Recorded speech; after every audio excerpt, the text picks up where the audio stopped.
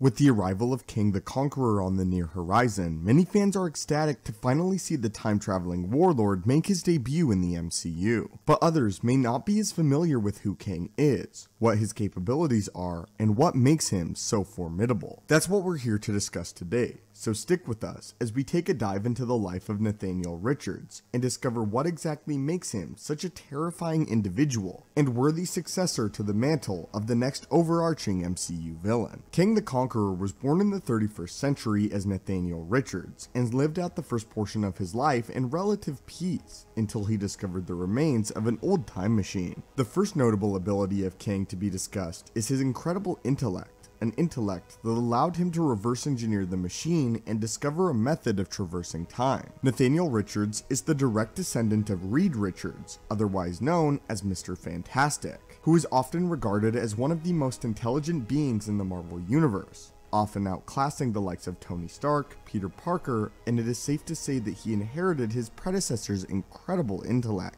This intelligence, paired with the advanced science and technology available in the 31st century, allowed him to access a wide array of advanced gadgets and technologies. And as he grew in his career as a time-hopping tyrant, he collected more and more tools to assist him in his conquests. His advanced battle armor is probably his most commonly used piece of machinery, as it not only enhances his physical characteristics and amplifies his strength, but it also houses its own extensive variety of weapons, as well as gadgets that he regularly uses to aid in his conquests. The suit also reacts and responds directly to his thoughts, both conscious and subconscious, using what is known as neurokinetic modifications. The hollow shields built into the armor are among the strongest in the known Marvel universe, able to withstand point-blank strikes from nuclear artillery, and able to expand or contract anywhere within a radius of 20 feet around Kang. These incredible shields shields are not solid objects like Captain America is known to use, but are more similar to a force field that he can cast around himself and manipulate to his liking using his neurokinetic link.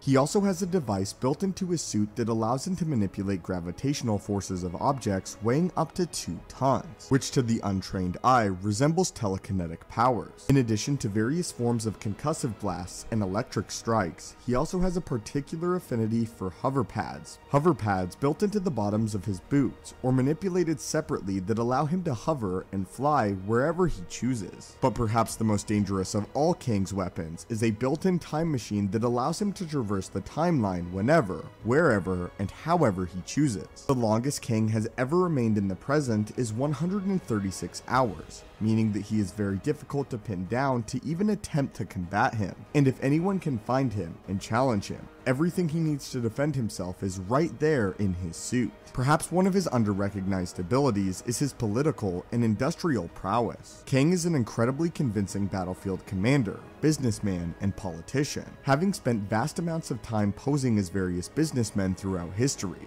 He is able to raise and command entire armies to aid him in his conquests, and can manipulate the various political systems of any time period he ventures to bending them to his will and further expanding his already vast empire. At one point, he and other various versions of himself from across the multiverse formed what is known as the Council of Kangs, which, given the explanation by He Who Remains at the end of Loki Season 1 finale, is a very real possibility to have occurred in the MCU. He Who Remains in Loki told of a time where various iterations of Kang were able to coexist, share technologies and research with the multiverse, and generally live in relative harmony. Is it possible that this is adapted into a spin on the Council of Kangs? And if so, it's even possible that this council is formed with less than pure intentions, posing a greater threat to the MCU than any one Kang is capable of surmounting on his own. On top of the incredible technology that he has access to, he is also biologically superior to an average human in the present day, seeing as he was born in a time when medical advancements have expanded human lifespans to be far, far longer. Kang is usually depicted as a man man nearly 70, but physically he has the body and agility of a man in his mid 40s. He is also an excellent physical hand-to-hand -hand combatant,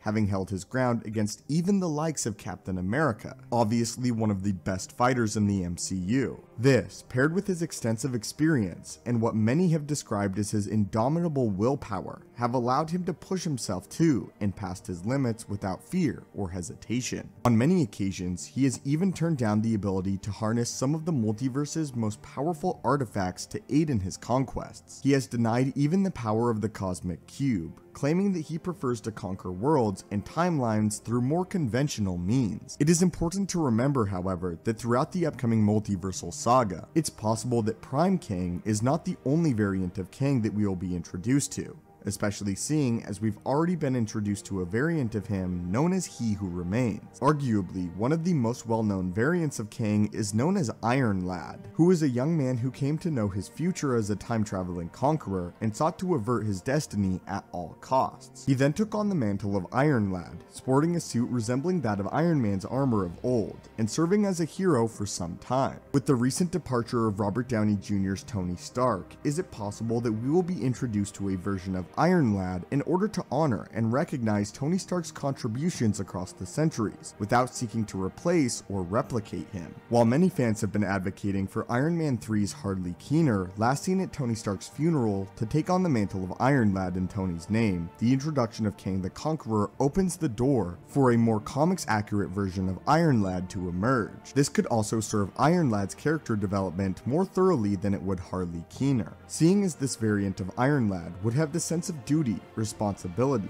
and moral baggage that comes with being a variant of the greatest threat to the multiverse. This could make for a compelling character arc as this version of Nathaniel Richards routinely sees himself in Kang and his conquests, and fears that he may be doomed to grow into this very same tyrant. A story like this could, in theory, make for an incredibly compelling story and a worthy successor to the Iron Man mantle, without overshadowing or attempting to replace Tony Stark. A story like this would mirror that of Tony Stark's battle against his own inner demons, except instead of Tony confronting his past, Richards could confront his future. And since the story of Far From Home centered around Peter Parker realizing that he would never be the next Iron Man, Peter could grow into a fully developed adult Spider-Man and allow Iron Lad to shine in his own right as they both could coexist in harmony. This is of course speculation, and a fun thought experiment to explore what we could potentially see later in the MCU.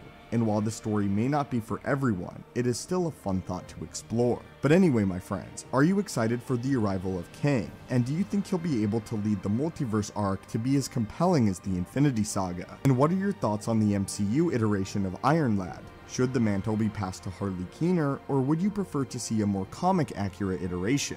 Also, what are your thoughts on the many powers of Kang the Conqueror? As always, my friends, thank you guys so much for watching the channel. Hit that subscribe button to assemble and join our team, and have a great day.